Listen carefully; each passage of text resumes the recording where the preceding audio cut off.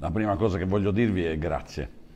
Grazie eh, per tutto quello che avete fatto in questi mesi.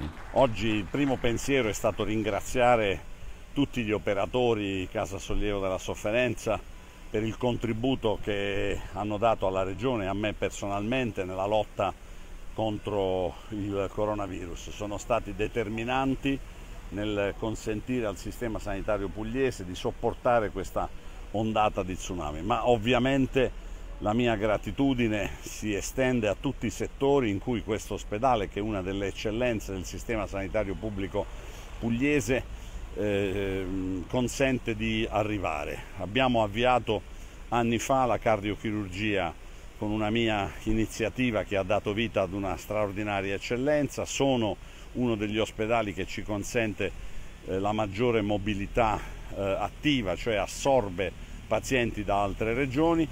Esiste ancora un limite del tetto che il Ministero ci impone per eh, il, DRG, il fatturato di questo ospedale che noi vorremmo insieme eh, rimuovere per consentire a questo ospedale, ma anche agli altri ospedali della Regione Puglia, pubblici ma di proprietà ecclesiastica o privata, di contribuire alla riduzione dei viaggi della speranza. Questo è il progetto e con un particolare riferimento alla medicina del Gargano.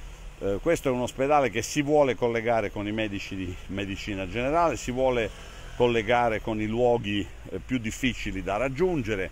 Abbiamo preso un'intesa per costruire la, medicina, eh, la telemedicina per consentire, ripeto, anche nei luoghi più inaccessibili il massimo della resa sanitaria possibile e ecco, ho avuto davvero ancora conferma di una evoluzione anche nell'organizzazione sanitaria di questa struttura che si proietta fuori dalle corsie dell'ospedale e si allarga a tutta la medicina del territorio.